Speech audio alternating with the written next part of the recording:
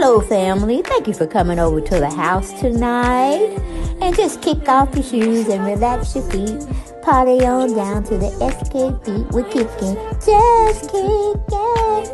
Just kicking. Okay, you don't come to another episode where we're going to be asking the question of why you telling my business? Don't be telling my business. Hmm. Why not? Because a can can and a can can, a can can, a can can, and a wheel. Now we're off to.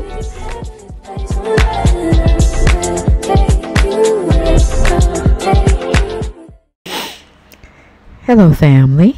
Thank you for coming back again to the channel. Okay, we're going to be talking about Shamea and her husband and why Porsha is so jealous of Shamea at this point. Okay? Shamea seems to have it all just by the optics of it all. We know she got a great, strong friendship with Kandi. We know she got a wonderful, loving husband where she really don't have to work. And he probably don't want her to work. But it just is what it is, okay? She's working. She got a beautiful daughter. She has a brand new house. She has a gorgeous ring. So, why didn't you go, Porsha, to her wedding?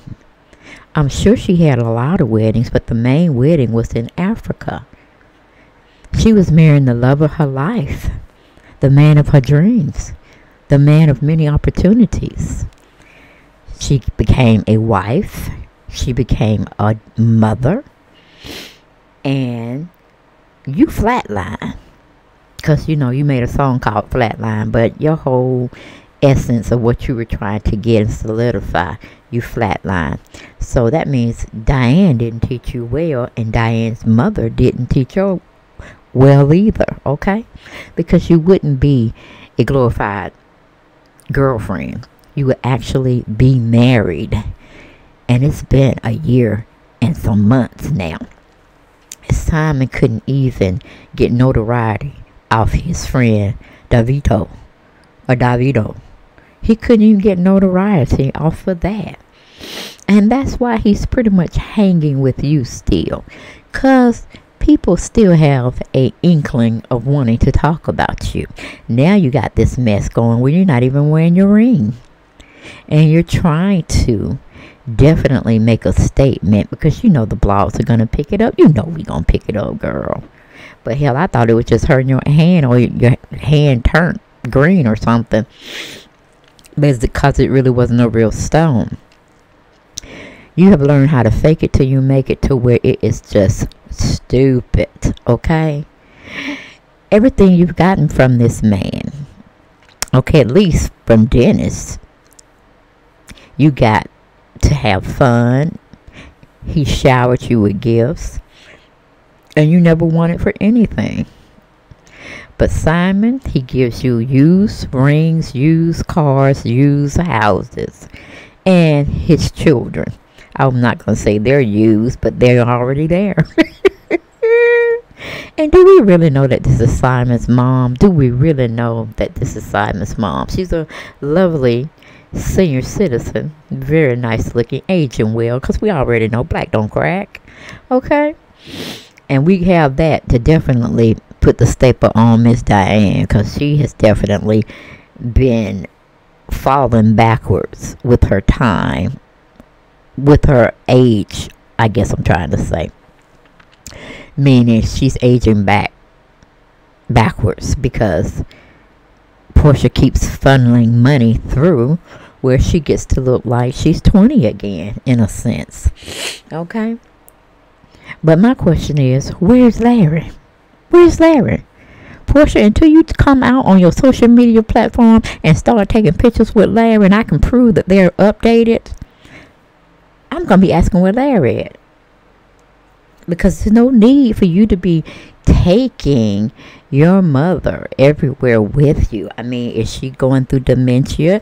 Is she having some health problems that you definitely definitely need to watch out for? Well, we already told you you ain't used to nothing new built from the ground up and only you lived in it. And Simon is not either. Because your friend Shamea, she's living in a house that was made for her specification. Her and her husband. And it's brand new and ain't nobody lived in it. But you couldn't come tell us that. You had to match your baby for baby. Man for man. Now she don't. Uh, well, friendship to friendship. We know you fell out with Kandi, but Shamea ain't fell out with her. They still going strong. At this point, you couldn't stand for Shamea to be pregnant. You couldn't stand for your sister to pre- be pregnant. So you had to hop on the next thing smoking and get it going with Dennis McKinley. And that's how you got baby PJ to stay in the race with your so-called best friend from childhood, Shamea Morton. But to me, it's still like she's shining, and she has more than you. She has a husband she's been with for a long time now. She has a baby. She has good friendships. Still got Kandi on her roster. Kandi still making deals for her, you know. And Todd. Makes me wonder did they do anything together, those three, before Shamea got married? It's plausible. It's plausible. But from what I hear on those YouTube streets, uh, is living in one of these kind of houses. Now, that's Cardi B house that she called herself buying here in Atlanta. I don't know if she still stays here or not. That's Steve Harvey's home, I believe, but I got another picture just to confirm that that's his house. But these are the houses that it's being speculated Shamea is living in. Now, Porsha, you did, of course, tell us you and Simon were over there at Shamea's new home. But you said and alluded to that you were just there for her birthday. After 12 midnight. Y'all still over there partying it up. Did y'all spend the night? Because the house is damn big enough to definitely let y'all occupy it for a couple of hours, okay? Almost like living in the Hamptons now, isn't it? But you wouldn't know nothing about that uh, portion. Shamea probably know something about that before you would, baby.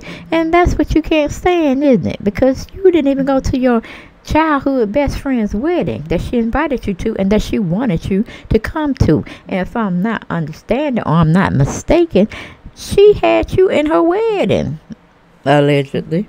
But of course, you said you could not fly those many hours because of some illness. What was the illness, Porsha? Jealousy, envy, hate? Am I warming up, Porsha? Girl, you are piss poor as a human being and piss poor as a friend. Girl, Get it together. You still got time. You could turn things around, Porsha. You might just have to drop Simon. Okay? I said Mike. Because I'm going to leave that up to you to do. But it just seems like since you got this man, only thing you've been getting is used goods. While everybody else are running circles around you and getting new stuff and developing new friendships. I mean, Shamea has the best both. She has the best of both worlds. She can spend time with you when she when it allows, and she can spend time with Kandi, and she can get money from either one. I mean, you probably wanted her on that Porsha Family Matters, but thank God she decided against that. Or maybe you told her you didn't want a part of it, but it, it worked out in her favor anyway because that show crashed and burned. And for, I, for as I'm concerned, it can stay burned. All right? Up. Totally. Not even resurrected or thought about again. But yes, you flatline in your career, in your life aspirations, and in your personal life. Because you're doing too much with your mom and she's following you around being nosy because that's the only reason why you brought her to see Shamea's house when it's supposed to be just her birthday party and just her friends and the husbands or the boyfriends were supposed to come along. Okay? But you brought mama along too. All right? I'm surprised. she took up your invitation and went with you. I mean, it was in the wee hours of the night. I'm like, don't she need to be home watching her own mama? Girl. But you couldn't pass up the opportunity, and your mother was nosy just like you. You had to take her. Y'all had to go see inside Shamea Morton's ten million dollar home estate, girl. Where she don't live in no subdivision where we know it. Girl, she's in a gated community, but the houses are spread far and wide, I hear. Far and wide. Even if they want to get in a little argument here and there, you couldn't hear it because they don't have any neighbors close to them. Isn't that something, Porsha? Isn't that something? But you took pictures in the kitchen and maybe in the foyer, but you love the grandioseness of things. Why didn't you go outside and take some pictures? So we, as nosy people living vicariously through your lives, we wanted to see what it looked like. But it's rumored that it's 10 million or more. So I just pulled up some pictures, you know, because I'm nosy like that. And I like comparing and contrasting. Lord, I do. I had to understand where was Shamea coming for? Because I mean, you had a nice house. It was used. It wasn't built from the ground up for you from your specifications or anything like that. Okay, then you moved your mom into your house because you damn sure didn't gift it to her because we already know the signs are on the wall. The signs are written down you and Simon are not going to make it because y'all are two con artists. Y'all are two characters that want to paint a picture of something lovely when it's just disastrous, okay? It's just disastrous. Now, where is Larry? Okay, the people want to know over here at the fam. We're concerned. Did he get sick? Did he die? Did he move to another country? We have questions. We need answers because you love flaunting people in front of us. And I'm like, okay, Diane didn't do so bad. She didn't do so bad now. But yet, she's floating around your man all the time. She's hanging out and shopping with your man all the time. What's going on? So we have to speculate Larry's not in the picture anymore, but you can definitely come to the forefront and let us know. Take some pictures. Let us know he's still living in your house that your mother and your grandmother and your granddaddy occupy for just a short, limited time. Okay, just a short, limited amount of time. But I just had to come on here because the streets were talking. And I said, well, if the streets talking, maybe I need to talk about it too. And maybe we can get Simon or Porsha to post something to our imaginations of what we wanted to know. Okay?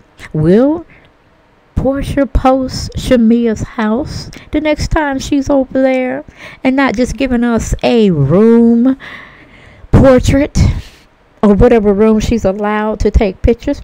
Maybe Shamea told her, don't take no pictures of my house. I'll do that later on if I want to do that at all. So they were pretty much just left to taking pictures in the kitchen. And the kitchen seems pretty big, like a chef kitchen. More than what you can allude to having Porsha.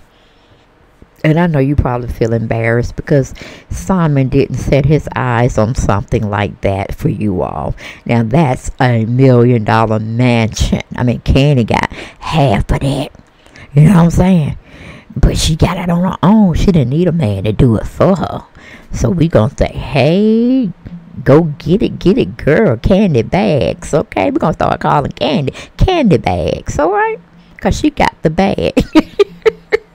she gonna keep a job and she gonna stay busy. And that's what Todd likes about her. He may not like that everybody don't give him any uh, high fives and good, or, you know, good opinions about what he's doing out there, this, that, and the third. But he ain't gonna get canned up. Mm-mm. And the sad part about it, he probably really love her. Or what he know love is, you know, because Mama Sharon probably give him all the love that he needed and wanted and desired because we know his dad wasn't in the picture because Mama Joyce said uh, Todd's mom and Todd's dad was a hoe and a pimp. Did the streets rebuke it? Was there a rebuttal? No, because uh, Sharon kind of died shortly after that was being said on her. Uh, through no fault of her own. It's just some health issues, and she was here one day, gone the next. That's how all our lives are. Uh, we all have expiration time. But yeah, Porsha, she wanted the man. She couldn't have a black man, so she thought she'd go get her African. Okay. However, she got a shady scammer one. Okay. He want to give you the opposite. He has something when he really don't. He's kind of struggling like the rest of us, everyday people, hardworking people, and there's nothing wrong with that. Living from paycheck to paycheck, that's just how it is sometimes in some some households, you know.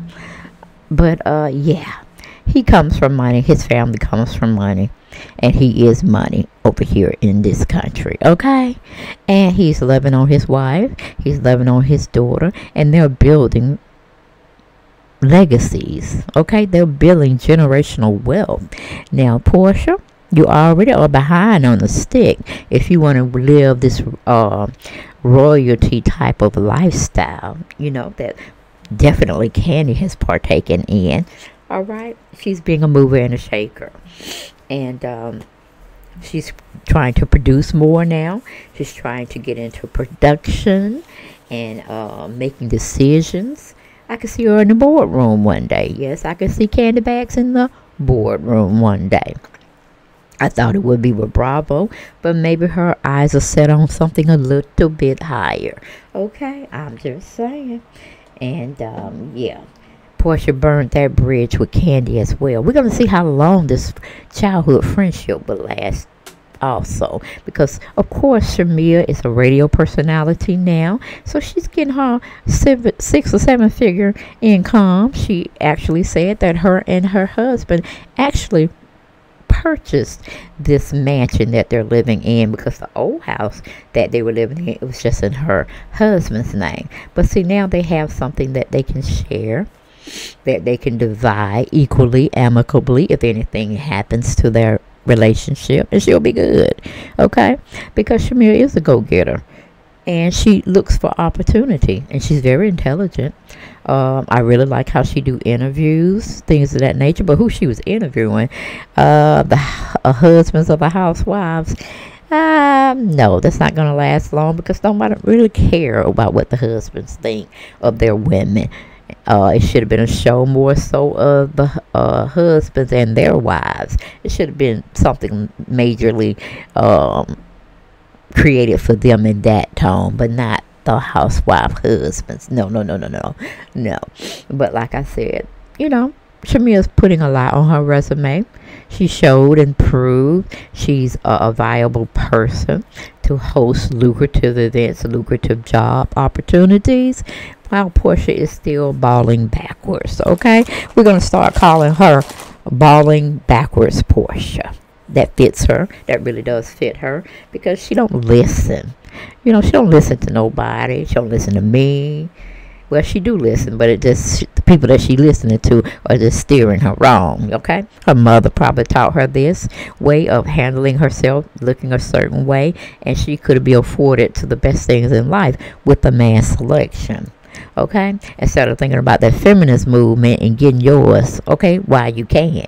And then if you decide, if you want to, entertain the idea of definitely uh, finding you a suitor that match your style, your uh, lifestyle, your family ethics, your morals, your values, things of that nature. But as we can see, Porsha mom just really tried to get in a influential type advocacy type of family and she solidified herself but she didn't end up well. No because what she was married into was uh, a man who had a uh, rich you call it? A rich heritage in advocacy and empowering and moving the minority group of people forward. Okay, his dad was Hosea Williams, and he was a pioneer along with the civil rights leader Martin Luther King. Do your research. Okay, look up those two names, and I'm sure there'll be a plethora of information that you can definitely uh, immerse yourself in okay, and find more knowledge of where Porsha Williams derives from, but she didn't pick up any of those good and admirable honorable habits okay? She just went to her mother's side of the family and we can see it all playing out in front of us of what they taught her okay? But like i said she has a used house used man used car. Um might have a used wardrobe if we think about it because we know her ring isn't um 100% hers. Um i think it was a used ring so um yeah Porsha's life has really been like used up, I guess you could say. But that's neither here nor there. We need Porsha to come out, show us, and prove to us that Larry is still there in her mother's relationship, is still intact. Or she can come and show and prove that uh, she's jealous in some form or fashion because her friend, her childhood friend, is running circles around her. She has the man, she has the family, she has the money, and she has a home now. And uh, Porsha's in a negative with all of that. So for Porsha to stay relevant, you know, she has to stay with Shamea or some form of being in her environment because she lacks thereof. She doesn't have a good relationship with Kandi. Nene and her, well, they're in the same basket at this time. Uh, and she doesn't have the opportunity or, or, or is afforded the opportunity that being on a reality show you know, supplies her with more avenue revenue streams and more hobnobbing with the rich and famous. Okay, that's pretty much why Simon got with her. He wanted the fame, he wanted the uh, fortune, and uh, the environments of lucrative businessmen he could be around if Porsha were to have act right. But as we can see, you know, the show that she could have made millions off of, kind of like Kim Zolciak. Remember we had Tardy for the Party, and Kim had her little spin-off show that lasted, what, eight to ten years, okay? And it was just nothing nothing really exciting. It's just you know we following her family comings and goings and sometimes we had a little kiki here a little ha ha there. And um it was other than that it was quite boring you know what i'm saying? But she had it just like andy cohen has his watch what happens live and we know that's in the toilet. But you know hey this is what it is. But that's all I have for this video, guys. I really want to know, and I'm very nosy, about why Porsha didn't tell us while she was alluding to she was at Shamea's birthday party with Simon and her mother, but she did not say that she was in a brand new mansion. So a mansion that Shamea must be living in and dwelling in must be just substantial because Porsha won't let that information out. Now, if her house was about the same size and square footage as Simon's house that he has without Porsha's name on it, if it was in that ball ball frame or park, uh, she probably would have took pictures. You see what I'm saying? But no, that's on lockdown until Shamea and her husband wants to let the public know. And since Shamea's husband is not a public out there type of guy. You know what I'm saying? You got to know him. He got to know you. And then you will be afforded into his playground, meaning his home, his home dwellings. Because he's the king. He's at his castle. And um, he has his queen. But of course, you know, Porsha was like, you know, hey, best friend, you know, thank you for inviting me to your party, you know, this, that, and the third. But she failed miserably in letting us know she had a new home and her, Simon, and her mama was over there being nosy. That's all they were doing, being nosy and wanted to see how really the rich and famous get down. Okay? Get down. So, see, Shamea did her research. Shamea vetted her husband but you didn't, Porsha. You was just sight on scene on sight, sight on scene, and wanted to take over somebody else's husband before they would really finish with him. So, as the old wise tale always says, however you get them is however you will lose them. But like I said, we don't wish anything bad on Porsha. We just want Porsha to make better decisions with her life, okay? Since she has a little one that's going to be following in her footsteps, Lord, we hope not. Hopefully, the curse, the generation curse, will be canceled with PJ, and she would think more like her dad's side of the family and get her own before she decides to let somebody else pamper her, okay, with the luxuries of this world. But that's all I have for this video, guys. Hopefully y'all like it. Love you. Got more. And I will see you all next video. Bye-bye.